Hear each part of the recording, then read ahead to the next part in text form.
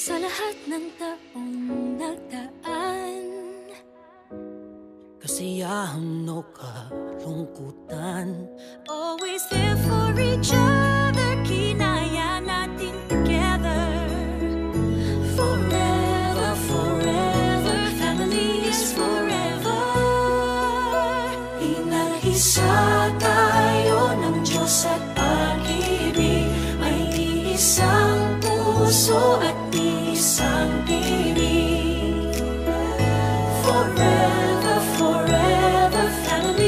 Forever,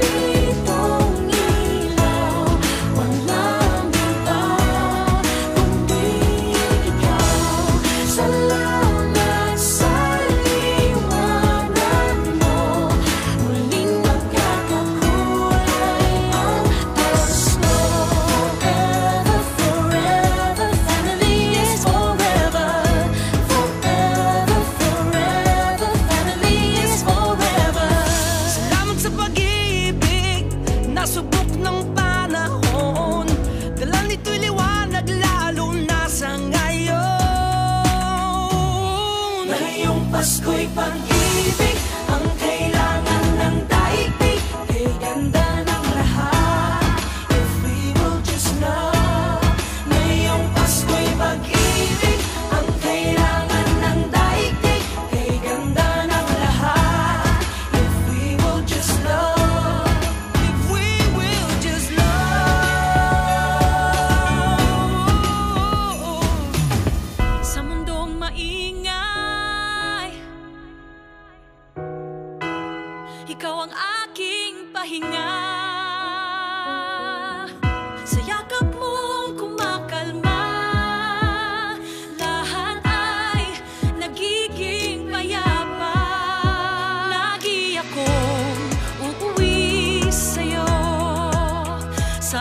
sou.